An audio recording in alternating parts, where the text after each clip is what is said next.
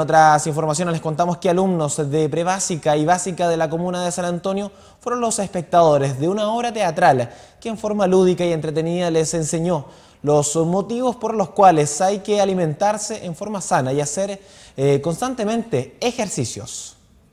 La actividad se desarrolló en la sala de artes escénicas del Centro Cultural San Antonio, hasta donde llegaron alumnos de diversos establecimientos educacionales a disfrutar de una entretenida obra teatral en la que quedaron al desnudo las causas y efectos de una vida sedentaria y alimentación chatarra. Nos enseña cómo vivir sano para no sufrir enfermedades cuando más grande. Sano porque así estamos bien y no, no pasa nada.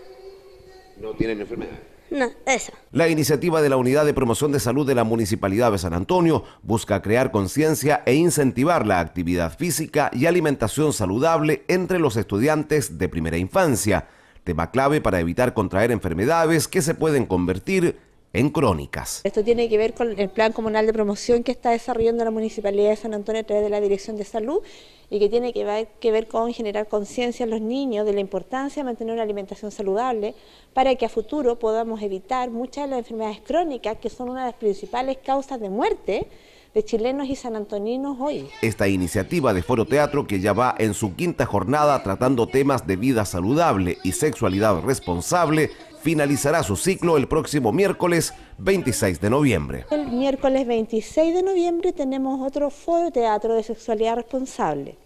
Aún estamos buscando el lugar específico, pero es el 26 de noviembre con el tema de sexualidad responsable.